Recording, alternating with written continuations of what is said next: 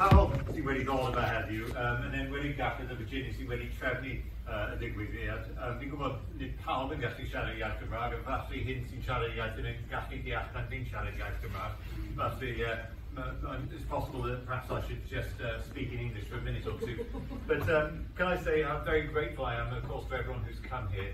Uh, Virginia has always banged the drum very, very loudly indeed for Môn, and, and rightly so, because it really is a wonderful part of the world, a part of the world that I've been privileged to visit as a minister. And perhaps I will get invitations uh, to come again in this, in this capacity. They will certainly be very welcome if so.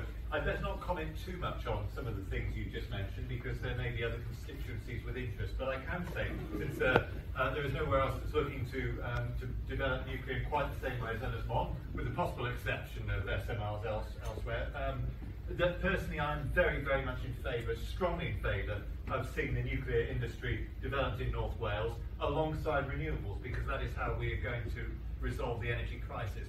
But I think the most important thing to say here is that what this is all about, as you said, Daphne, it's about young people. It's about saying that it's not enough to, to ensure that people have got jobs in an area, but people have to have careers in an area so that they don't have to leave uh, parts of the world like uh, uh, like Ynys Môn.